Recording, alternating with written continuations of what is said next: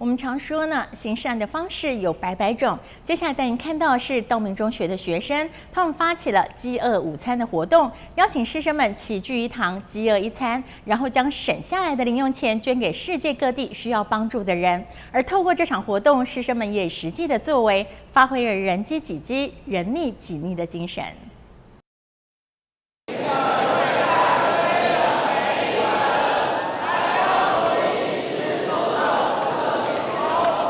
行善的方式有很多种，带你来看到的是道明中学的学生，他们发起了饥饿午餐活动，邀请师生们齐聚一堂，饥饿一餐，并将省下的午餐钱捐献给世界各地需要帮助的人。我希望我们的学生真正的能够知道，他们其实很幸福。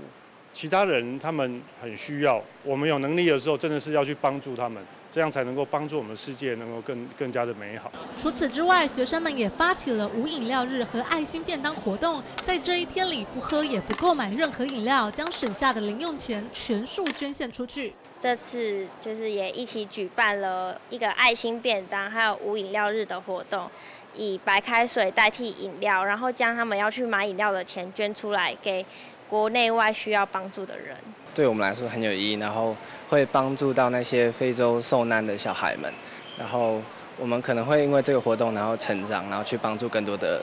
就是受灾的人民。有感于世界上有许多需要帮助的人，透过饥饿午餐活动，道明中学的师生要以实际的作为，体会人机己饥的精神。